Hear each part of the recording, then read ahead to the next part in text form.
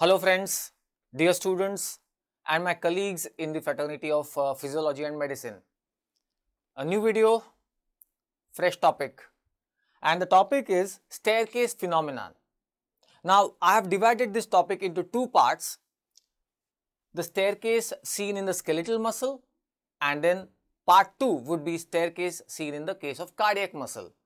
Well yes, therefore the first thing is this phenomena is related to the muscle and it's related or it's seen observed in skeletal as well as cardiac muscle. So with that in mind, let's begin the part 1 that is staircase uh, seen in the skeletal muscle and its application. In the part 2 of course uh, uh, you will see the staircase in the heart muscle and its application in heart failure. So let's begin.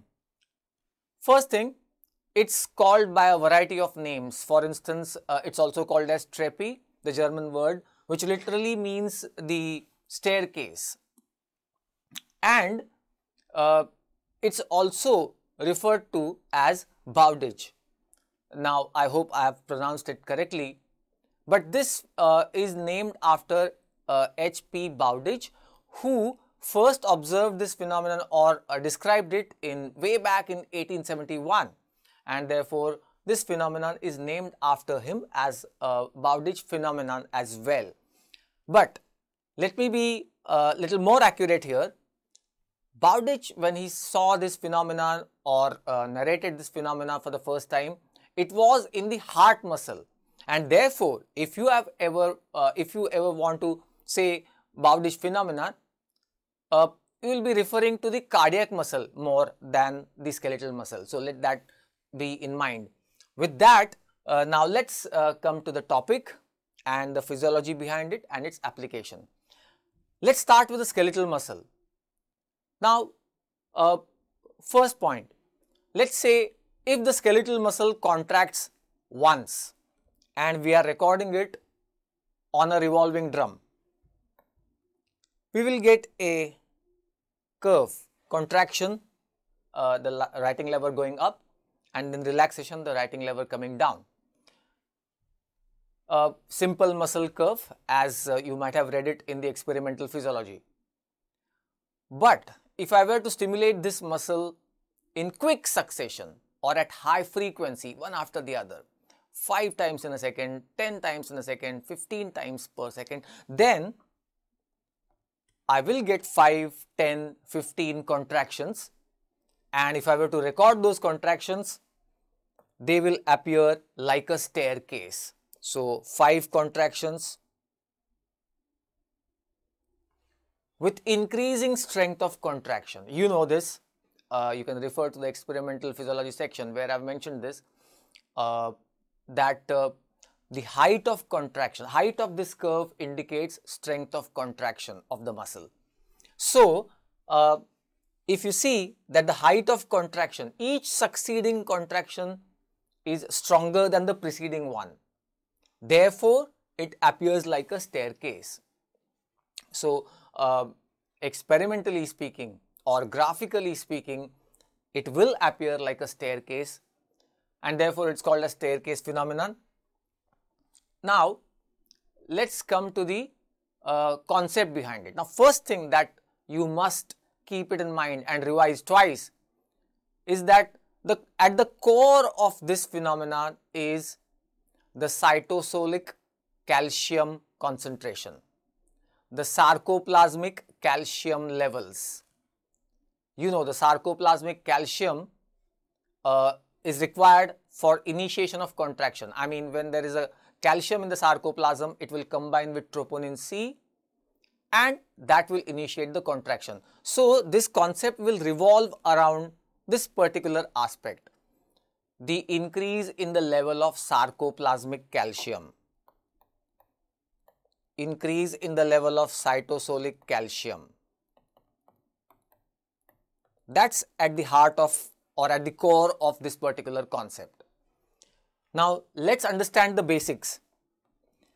Let us say here is a skeletal muscle the muscle has sarcotubular system with a T tubule and the L tubule uh, or rather T tubules and L tubules.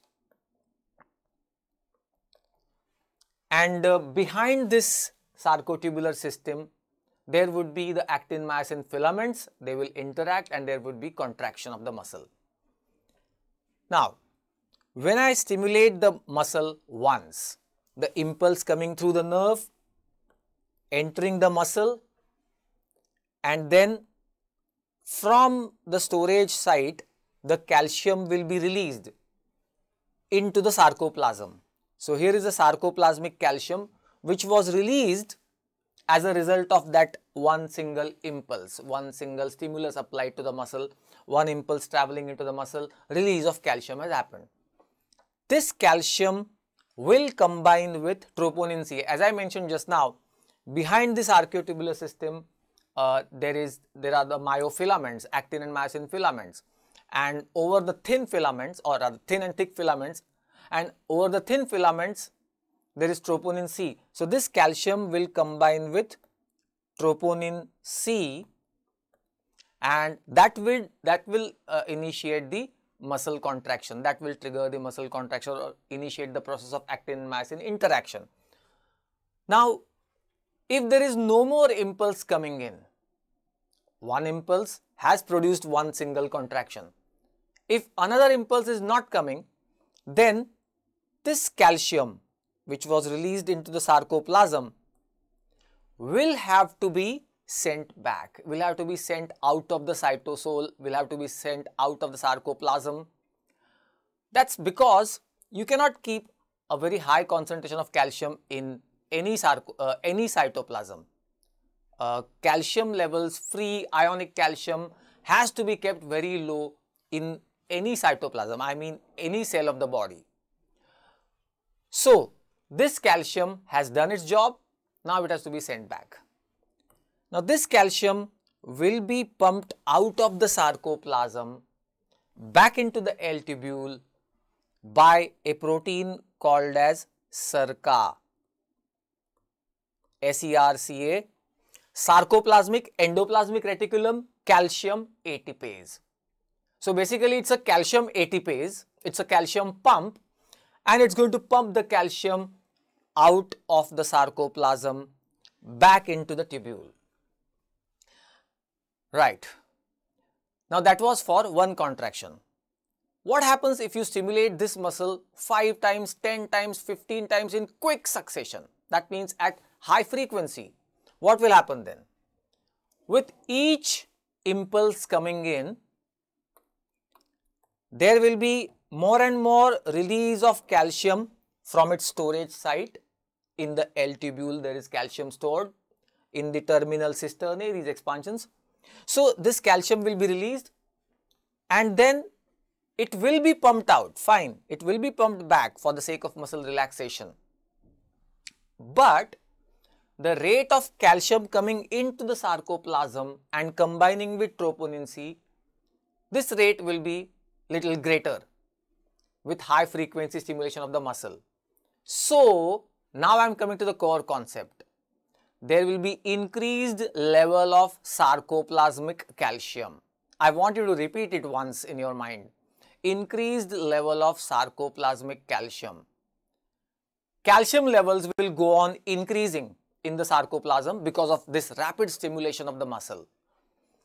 And therefore, the fallout of that, the second sentence also will have to be repeated in your mind uh, strength of contraction of a muscle is proportional to the amount of sarcoplasmic calcium.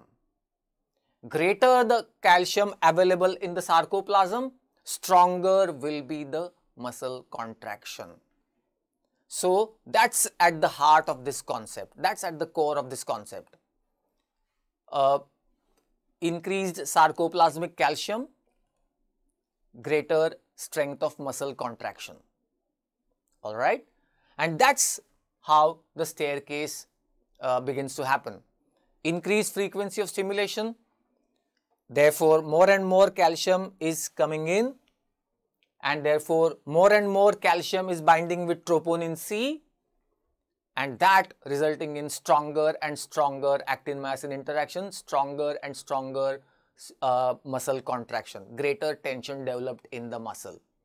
So you can see that in the graph as well, height of contraction goes on increasing.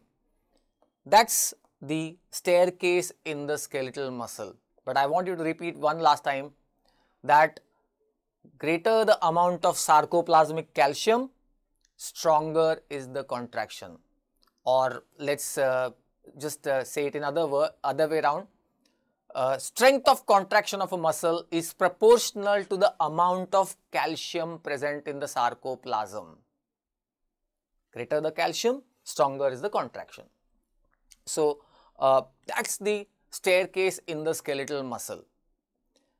Now, what is the, uh, what, what could be the application of this? Uh, real life application, day to day life application or clinical application? Well, one application that I could think of is the warm up exercises just before a, a particular athletic at, uh, or any sporting event. Now look, we all know that the warm up is actually to loosen up the muscles, to loosen up the joints so that you know they are in perfect condition when the event starts.